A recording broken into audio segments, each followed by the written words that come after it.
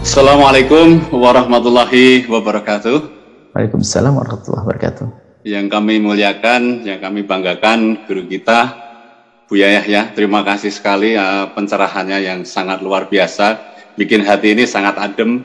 Belakangan ini adalah sangat viral karena terkait dengan wayang dan gamelan gitu. Kebetulan saya sendiri adalah pelaku gamelan dan wayang di Selandia Baru. Saya banyak mempromosikan wayang dan gamelan di sini gitu dan dan uh, terakhir itu adalah uh, sangat viral di media online mengenai uh, bagaimana wayang dan uh, gamelan itu seperti itulah jadi dan komentar atau jawaban dari salah satu guru kita juga itu ternyata itu menyakiti dan membuat uh, banyak kalangan budaya yang sangat sangat uh, tidak senang dengan apa yang disampaikan. Saya kira Mungkin itu mohon pencerahannya, Bu ya. Terima kasih sekali. Salam dari Wellington, New Zealand. Masya Allah. Salah. Sering ya, saya banyak. Mungkin cari saja video Bu Yahya tentang wayang. Kayaknya sudah banyak itu. Saya juga bicara tentang wayang sudah jauh-jauh hari. Ya. Nah, jadi sebenarnya dunia pewayangan itu adalah sebetulnya kan memang tidak ada dalam Islam. Cuman kecerdasan orang soleh pada zaman itu merubah. Sebab itu kan dari budaya-budaya di India saja, India, India, di India sana masuk ke ke Indonesia kemudian menjadi budaya khas Indonesia dengan pewayangan. Tapi kisah-kisahnya tentang Baratayuda dan seterusnya itu kan kisah-kisah yang ada di di di di di, di, di dunia di luar di luar Islam. Cuman yang kita harus pahami bahwasanya mereka para ulama itu dengan cerdas. Budaya budaya seni tetap seni. Yang mengatakan bahasanya kan gambar adalah haram dan sebagainya. Ternyata yang itu. Dan kami khususkan mereka itu sudah dengan mengemas dengan syariat. Yang berubah itu yang nggak benar adalah sekarang gambarnya dipatungkan lagi. Itu kan gampang wayang kulit kan penyet. Coba kalau ada orang bener-bener wajahnya itu kok mirip Arjuna itu nggak ganteng loh itu kalau sekarang. Cuman kan dalam wayang kan ganteng coba. Nah, punya anak kayak Arjuna di wayang itu loh. Yang nggak ganteng itu mana ganteng sisi mana? Yang dipenyetkan model begitu hidung begini nah itu itu sebenarnya gambar itu betul-betul gambar sudah dilepaskan daripada dunia perpatungan. Itu adalah siasat mereka. Ulama terdahulu. Sehingga gambarnya penyet. Makanya mohon kalau anda jangan pakai yang berpatung ya. Yang penyet wayang kulit. Yang aslinya itu wayang kulit itu. Nah jadi jangan tidak usah dipatungkan lagi supaya tetap dengan baik. Kemudian sisi lain anda ini kebetulan saya bertemu saya senang. Saya juga sekarang lagi mencari kader dalang. Saya pengen ada seorang dalang yang sangat dekat dengan saya yang sangat mengerti tentang ide-ide saya Hah? Jadi dalam dunia pewayangan itu kecerdasan mereka. Kan ada satu tokoh dalam pewayangan namanya Punokawan, kan begitu. Punokawan aslinya nggak ada.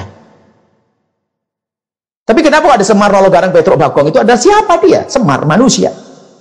Cuma tanpa disadari kehebatan para wali dahulu itu ingin meruntuhkan keyakinan-keyakinan yang mendewakan selain Allah, menuhankan selain Allah. Ternyata dikasih tokoh yang namanya Semar. Ajibnya, anehnya mereka nggak sadar bahwasanya perhalus bahwasanya biarpun dewa itu kalau punya masalah tanyanya ke Semar.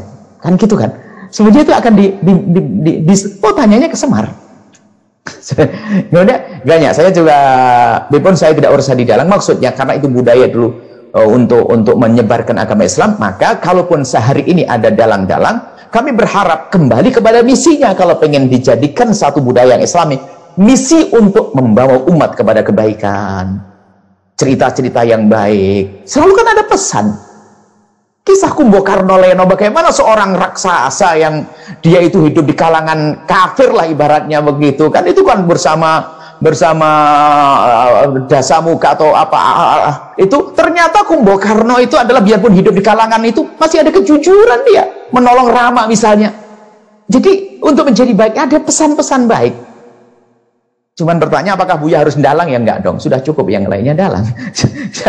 Maksud kami adalah islamisasi budaya itu penting.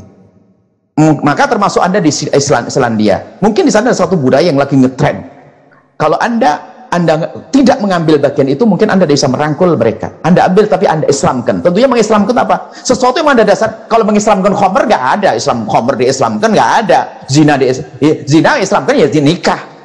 Maksudnya selagi sifatnya adalah umum, kebiasaan, tradisi, yang bisa dikasih masuk, dimasukkan pesan-pesan islami, bahkan Tidak harus pakai label Islam.